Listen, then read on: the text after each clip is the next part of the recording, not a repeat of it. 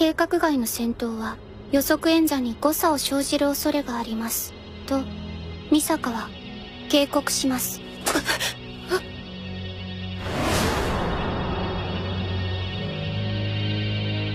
特にお姉様はレベル5ですので戦闘による歪みは非常に大きく期間の短縮はおろか計画そのものが破綻する恐れがあります。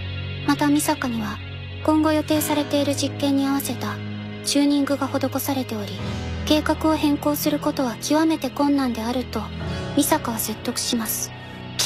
分かった分かりましたよ。ちょっと軽かっただけだっての。リレーして喋んな気持ち悪い。そういや自己紹介がまだだったね。最強に飽き足らず。お前のクローンにゃ世話になってんぜ俺の無敵化を手伝ってくれてんださらにその上を目指すレベル5間違いない。この男は。感謝しなきゃなあらゆるベクトルを操る学園都市の第1位。アクセラレーターだ。よろしく